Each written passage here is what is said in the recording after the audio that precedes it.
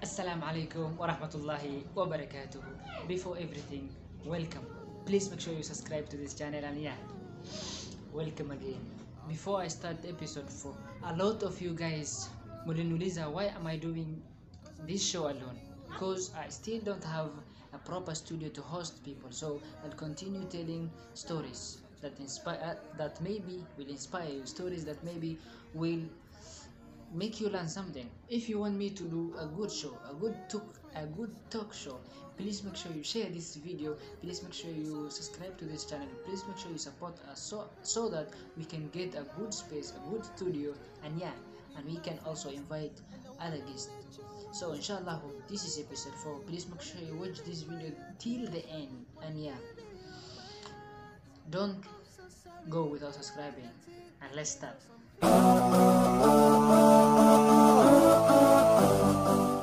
Up a mosque for your fellow Muslims is considered to be one of the most noble deeds in Islam. It is sort of a good deed that keeps benefiting you even after you are long gone from this world. I want to share one side story of an anticipated noble deed with you today. A brother duo, both born and bred in Blackburn, have submitted plans for a new building with a dome and two minarets. You might have heard about this super Muslim billionaire brothers duo, the owners of Euro Garage, when they recently bought Asda, a British supermarket retailing chain. It is pleasing to see them giving back to the community they grew up in. The brothers duo I'm talking about is none other than Issa brothers. Zuber Issa and Mohsin Issa, aka the founder of EG Group. Both of them grew up in Blackburn, England.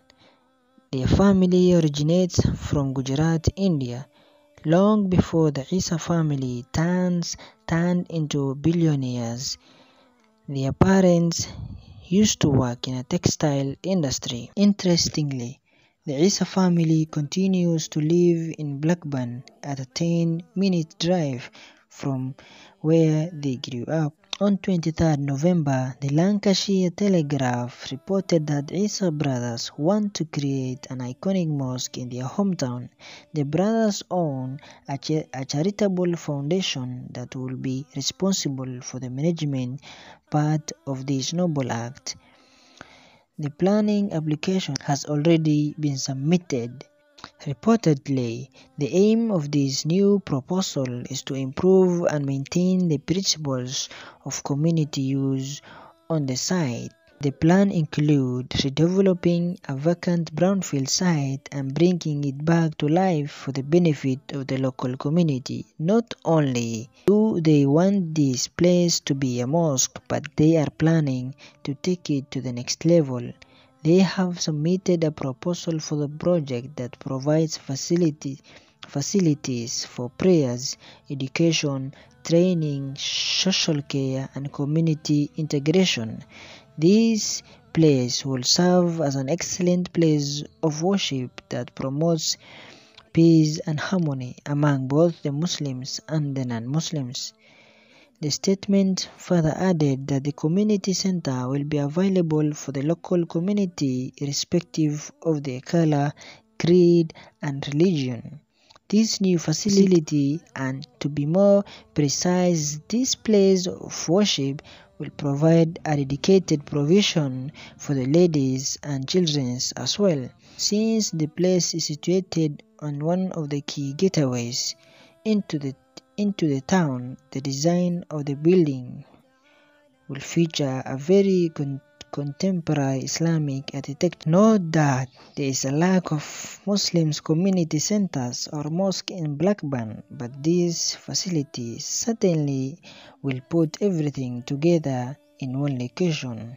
We pray that this deed serves as an inspiration for the other religions and promotes even a healthier image of Islam in the world. May Allah subhanahu wa ta'ala make things easier for Issa brothers as they are easing things for the local community. May Allah guide us all and bless us with, with the hidayah so that we keep striving to become better Muslims. Amen. Thank you for watching that video. I was your host Mohamed Islam and this is the Deen Teen Show. Please make sure you subscribe to this channel and yeah, please subscribe, share, like. Please subscribe, share, like. Maanta dhawaan wada hadii subscribe, please subscribe, share, like. Please subscribe. Okay, I'm joking. Assalamu alaikum.